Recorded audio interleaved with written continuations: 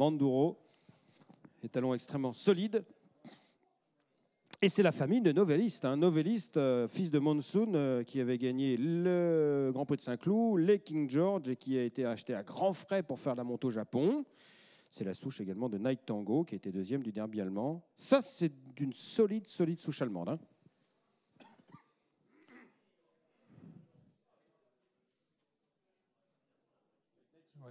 Famille maternelle euh, allemande, la grand-mère par Night Shift.